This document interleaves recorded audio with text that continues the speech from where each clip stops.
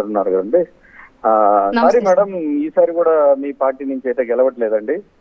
టీడీపీకి అయితే ఆ కూటమికి ఓటు పడలేదు ఫస్ట్ ఆఫ్ ఆల్. వైఎస్ఆర్సీపీ ప్రభుత్వమే మళ్ళీ రాబోతుంది. యాజ్ యూజువల్ పవన్ కళ్యాణ్ గారు మళ్ళీ ఓడిపోబోతున్నారు.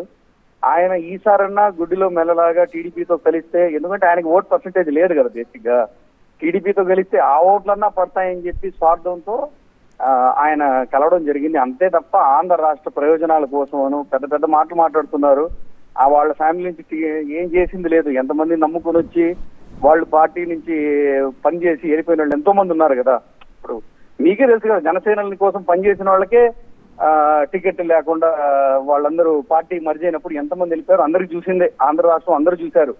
సో మీకు ఓట్ పర్సంటేజ్ అనేది లేదు ఫస్ట్ ఆఫ్ ఆల్ ఏదో ఒకటి ఒక ఆయన ఉండాలి కదా ఆయన రెండు ఒకసారి ఓడిపోయాడు రెండు చోట్ల కనీసం ఈసారైనా గెలిపించుకోకపోతే బాగుండదు అనే ఒక ఉద్దేశంతో ఒక ఫిఫ్టీ ఫిఫ్టీ ఛాన్స్ కోసం ట్రై చేసిందే తప్ప పిఠాపురం అంతకంటే ఏమీ లేదు.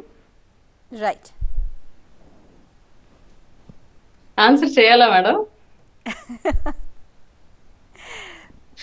అంటే సార్ ఫ్రస్ట్రేషన్ ఏదో కక్కేశారు తప్ప దాంట్లో క్వశ్చన్ కానీ లేదంటే ఆయన సందేహం కానీ ఏం కనిపించలేదు. నాకు ఆయనే మనకేదో చెప్పేసి వెళ్ళిపోయారు అనిపించింది. రైట్ సో మీ ఒకవేళ అదే ప్రశ్నగా మారితే మీ సమాధానం ఏంటండి అరుణ గారు? మేడం నాకు తెలిసినంత వరకు పిఠాపురంలో పవన్ కళ్యాణ్ గారు భారీ మెజారిటీతో గెలుస్తారు. ఇది కన్ఫామ్. రెండోది కూటమి కూడా హండ్రెడ్ పర్సెంట్ అధికారంలోకి వస్తుంది. ఈ ఈ క్వశ్చన్ మీరు సార్ని ఒక నంబర్ కనుక మీ దగ్గర ఉండేది కాబట్టి నెక్స్ట్ మంత్ ఫోర్త్ తర్వాత ఒకసారి ఇదే ప్రోగ్రామ్కి నన్ను పిలిచి సార్ని ఇన్వైట్ చేయండి. అప్పుడు దాని గురించి మనం డిస్కస్ చేద్దాం.